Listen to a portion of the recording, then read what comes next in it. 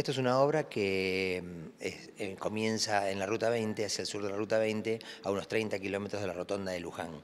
Entrando por ese camino es el acceso a Pampa Grande. Eh, este, este, es un tendido de 44 kilómetros de línea, eh, de media tensión por supuesto, que va a beneficiar a unas 60 familias en cinco parajes, Pampa Grande, La Chilca, El Algarrobal, Tres Calles y Los Cerrillos. Em, también va a beneficiar dos escuelas que hay ahí y em, dos eh, centros de salud. ¿Cuál es el monto de inversión de esta obra? Esta obra es en 15.350.000 aproximadamente. Es el costo de, de, la obra completa, los 44 kilómetros de tendido. ¿Y en qué instancia se encuentra?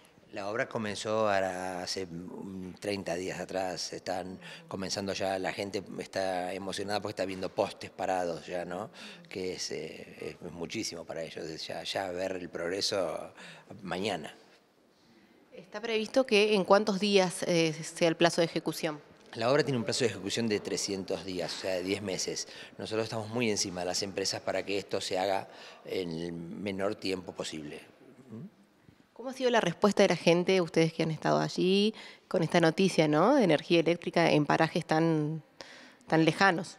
Sí, es, esto es gente que nunca jamás tuvo electricidad. Eh, entonces, la respuesta es, eh, están muy ansiosos ellos en este momento. Una de las preguntas que más hacen es, cuando empezaron a ver los postes, es, bueno, ¿y cuándo nos llega la luz? Porque así eh, ya vamos y queremos comprar un freezer, que es lo que ellos quieren, quizás es lo que uno no lo ve porque vive en la ciudad, pero ellos más necesitan por las distancias que tienen para ir a comprar sus comidas y esas cosas.